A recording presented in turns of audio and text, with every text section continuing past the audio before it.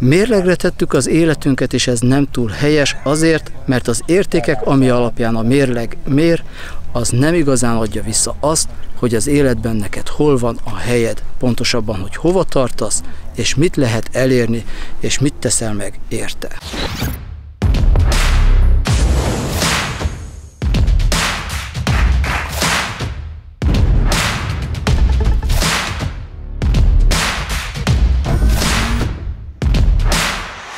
Az értékek legalább annyira különbözőek, amit a mérlegre rakunk, ahány félék vagyunk mi magunk is.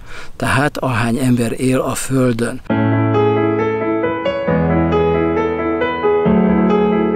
Nyilván vannak ilyen értékcsoportok, ki mit vesz fontosabbnak, de, de azért ebből is sokféle van. Mondjuk ilyen fő csoportok például az, hogy megítélem az életet, a világot, a jólétemet például a pénzen keresztül, vagy a szabadidőn keresztül, vagy az öltözködésemen keresztül, vagy a párkapcsolatomon keresztül, vagy a cégemen keresztül, vagy egy tárgyamon keresztül, mint az autómon keresztül, vagy bármilyen luxus eszközön keresztül. Tehát ebből a szempontból nincs olyan sok, de ha kicsit kreatívabban néznénk ezt az egészet, és nem a előbb felsorolt értékcsoportok szerint, akkor nagyon színes lenne az, ahogyan szemlélhetnénk a világot, és sokkal pontosabban tudnánk, hogy mi az, amit tennünk kell. Érdekes például az is, ahogy az emberek egymás köré szerveződnek. Természetesen különböző célok vezérelhetik, vezérelhetik őket, hogy mi az, amiért oda mennek a másikhoz, de ahogy oda mennek és amiért oda mennek, az nagyon jellemző rájuk. Az emberek szeretnek panaszkodni például az életükre, sőt, szeretnek dicsekedni is velük, tehát valaki meg ugyanazt csinálja, az egyik embernél panaszkodik, a másiknál dicsekszik, tehát az emberek bármit is csinálnak, és bárhogy is bemutatják az életüket, nem veszik figyelembe azt, hogy mi az, amit tettek mindezért, és azt hogyan tették. Mert valamikor figyelembe veszik, és azt mondják, hogy én megtettem ezt, meg ezt, meg ezt, de nem veszi figyelembe azt, hogy hogyan tette meg. És azt, hogy hogyan, az még fontosabb annál, hogy mit tett. Mert a hogyan már meg fogja mutatni azt is, hogy amikor eredménye lesz, az hogyan tudja élvezni. Ugyanis amikor csak egyetlen egy tényezőt veszünk figyelembe ahhoz, hogy mi az, amit kell tennünk, akkor az az egy tényező nem lesz elegendő, hogy kifejezze majd az eredményben azt a sokszínű életet, amit szeretnél. Tehát például te gazdag szeretnél lenni. Ez egy nagyon érthető dolog, mindenki gazdag akar lenni, de de amikor gazdag akarsz lenni, és elindulsz azon az úton, hogy az is legyél, akkor amit teszel, az nem biztos, hogy elég színes és körültekintő ahhoz, hogy a környezetedet is beleveszed, majd a végeredménybe például. Tehát te gazdag vagy, de átgázolsz mindenen, és akkor, amikor megkapod, akkor ott maradsz egyedül, és amikor egyedül vagy, akkor szükséges még átgázolni, és majd megint átgázolni mindenen, és életed végéig csak el vagy foglalva azzal, hogy megtartsd a gazdagságodat. Egyedül vagy vele, nem fogod megosztani se természetesen, és, és nem fogod megosztani azokat a feladatokat sem, amivel meg tudnád védeni ezt az egészet. Tehát nem biztos, hogy a gazdagság az elegendő lesz a boldogságodhoz, mert az életed másik területén, például az emberi kapcsolatokban nem lesz meg a sikeressége. Tehát pénzed lesz, emberi kapcsolatban gazdagságod nem biztos, hogy lesz. Ez csak egy példa, ez nem mindenkinél így van. De mint példa, azért mondom el, hogy mindenki okuljon belőle, akkor is, ha fordítva van. Például nem veszed figyelembe a pénzt, nem veszed figyelembe, hogy ma itt pénzre van szükséged, hogy érvényesüljél bizonyos esetekben, például a boltban, hogy kenyeret vegyél, és csak az emberi kapcsolatokkal foglalkozol. Ez nagyon jó, de nem jó, mert itt is csak egy dologra figyelsz. Tehát komplexen kéne figyelni sok mindenre, és akkor az eredmény is komplexen fog jönni. Egy olyan szemináriumon vagyunk, ahol az emberek azzal foglalkoznak, hogy az életüket megértsék, pontosabban megértsék azt, hogy hogyan tudják fölépíteni az életüket.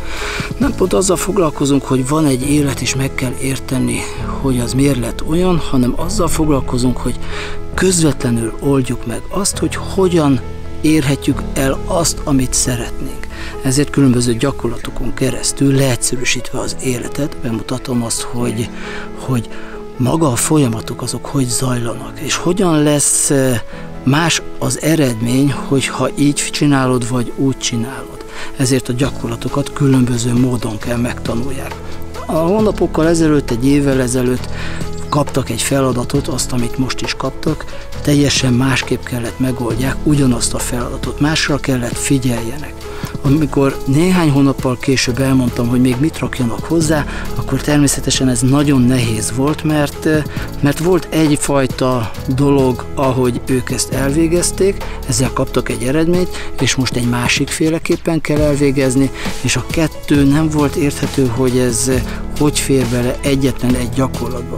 Most nem kétféleképpen, hanem ötféleképpen kell már megcsinálják a feladatot, és ez az ötféleképpen lévő megközelítés, ez ma már nem olyan nehéz, mint akkor volt az a plusz egy. Ez azt jelenti, hogy fejlődött a figyelmük, fejlődött a hozzáállásuk, fejlődött a, a spektrum, amire tudnak nézni, pontosabban ahogy meg tudják érteni a dolgokat.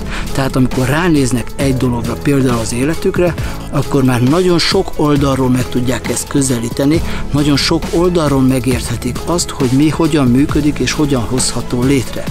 Ha van cél, amit el kell érni egy oktatásnak, az pontosan ez a sokoldalúság. Hogy sok oldalról, sokféleképpen megértsem a világban azt, ami történik. Ezt gyakorolják most is, és majd még nagyon sokféleképpen megkapnak más feladatokat is. Ez pont ugyanolyan, mint az élet, hogy hiába gyakoroltál valamit, hiába van egy nagyon jó rálátásod már az életedre, az élet még hoz új és új dolgokat, amelyeket újból és újból meg kell tanulni. Tehát egyrészt nem mindegy, hogy mit csinálsz, nem mindegy, hogy hogyan csinálod, nem mindegy, hogy hányszor csinálod, és ezt az egészet egybevéve egyáltalán nem mindegy, hogy te ki vagy. Az sem mindegy természetesen, hogy ki leszel, mert igazából az, amit tanulsz, az nem a máról szól, hanem arról, hogy majd mi lesz, tehát a jövődről.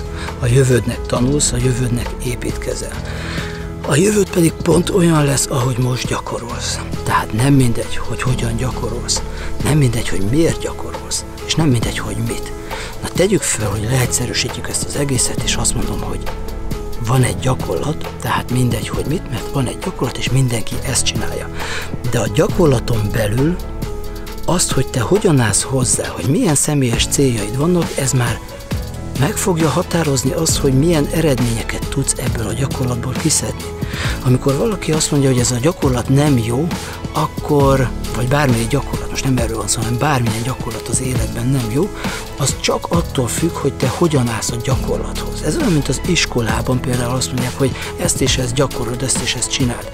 Meg lehet kritizálni, és még igaz is van, igaza is van sok mindenkinek abban, hogy, hogy igen, ez a gyakorlat nem túl jó, nem modern, a mai világot nem tudja megmutatni, és ebben nem lehet igazán jól fejlődni, de a te fantáziádon múlik, a te hozzáállásodon múlik igazából, hogy mi az, amit kihozol belőle. Mert csinálhatsz egy gyakorlatot sokszor, és ismételed, és semmi értelmed, de aztán jön az életben egy nagyon rossz szituáció, amiben pont megoldást hoz az, hogy ebben a rossz gyakorlatban rosszul valamit jól csináltál. Tehát a hozzáállásod más lesz. Tehát, hogy hogyan gyakoroljál, bármit is az életben, ugye erről már volt szó, most egy kicsit másképpen megközelítve, hogyan álljál hozzá a gyakorlatokhoz, mi legyen a lelkesedésed, mi legyen a vágyad, a célkütőzésed. Legyen türelmet például a gyakorlatot megválni, a gyakorlat eredményét megválni. Általában nincs türelme az embereknek ehhez, hanem, hanem az nem jó, az nem tetszik, ezt nem csinálom, ez nem nekem való, és, és már is ott hagyja. De akkor ott hagyott az életből valami olyasmit, amiből ő nagyon sokat tanulhatna. És ezt nem kéne megtenni akkor, amikor még nem kaptál eredményt, amikor még ideje korán tudatlanul szálltál ki egy folyamatból mert a folyamat végén mindig van egy eredmény, és rajtad áll, hogy az mi lesz. Mondhatnám tovább is ezt a vlogot, de ezt itt abba hagyom, mert ez egy nagyon hosszú téma, nagyon nagy téma, és ehhez több időt kell szállni, mint amennyit megenged egy ilyen vlogolás. Tehát összefoglalva nem mindegy, hogy hogyan állsz hozzá a feladataidhoz. Amennyire komplexen bele tudsz állni egy folyamatba, amennyire, amennyire komplexen tudod segíteni azt, amivel a jövődben meg lesz az eredményed, a jövőd olyan lesz, az eredményeid annyiféleképpen lesznek felhasználhatóak, tehát az életed sok-sok-sok területén mindenhol meg fog mutatkozni az eredmény, de ehhez már a gyakorlásokhoz, a feladat végrehajtásokhoz, a tanulásokhoz, a munkához teljes komplexitással kell hozzáállni. És ez a lelkesedésedre, a gondolkodásodra és a cselekvésedre együttesen érvényes. Így lesz a jövőd. Sokfelé ágazó, sokféle, mindenkinek tetsző, de főleg neked.